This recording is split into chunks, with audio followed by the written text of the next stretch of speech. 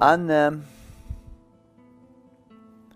benim yaşamda özgüvenimin temel kaynağı, köklerini teşkil ediyor. Annem hastalandı ve öldü diyorlar ama bir şeyler bir şeyler oldu. Ben yani kelime olarak biliyorum öldü yok ama hep içimde işte misafirliğe gitti bir gün sonra gelecek, iki gün sonra gelecek diye bakıyorum. Üç gün geçti gelmedi, dört gün geçti gelmedi, beş gün geçti gelmedi ve bir gün dedim ki annemi bir daha göremeyeceğim.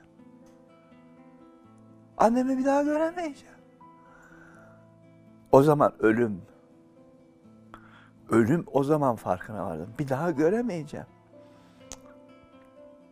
Ve kaç, kaçtım mezarın başına gittim.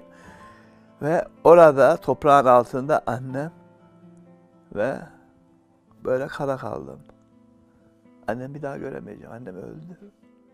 Ve enteresan bir şekilde çocuk aklımda şuna karar vermişim. Annen yok, kimsen yok.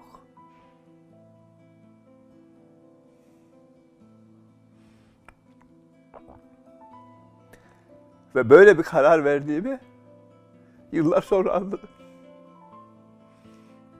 Annen yok, kimse yok. O zaman kimsen yoksa senin bir şey istemeye hakkın yok. Sadece başkalarını memnun etmeye çalışırsın. Annen yok, kimse yok.